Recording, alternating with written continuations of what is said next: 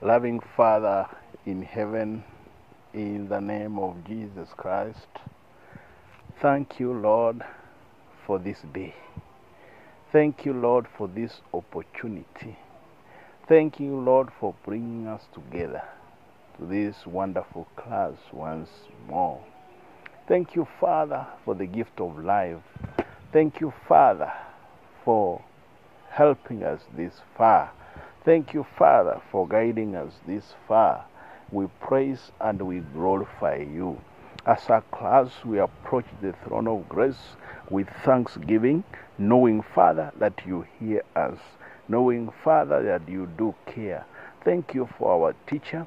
Thank you for all the students who have been this class. We thank you for the lessons that we have had. Thank you for the teaching that has been imparted unto us.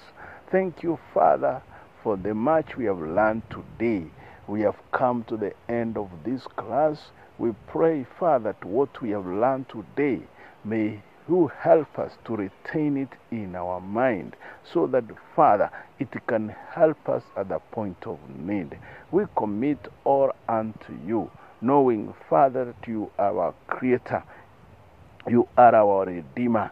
You never leave us nor forsake us. You have good plans for each and every one of us. Even as we disperse from this class, we pray, Lord, that you take care of us and bring us together once more in another class. Bless our teacher.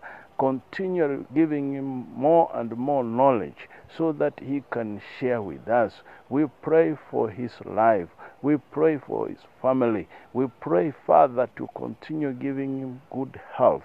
Father, until we meet again for another class, we pray that you be with us, bind us with cords of love that can never be broken. For we pray in the name of Jesus. Amen.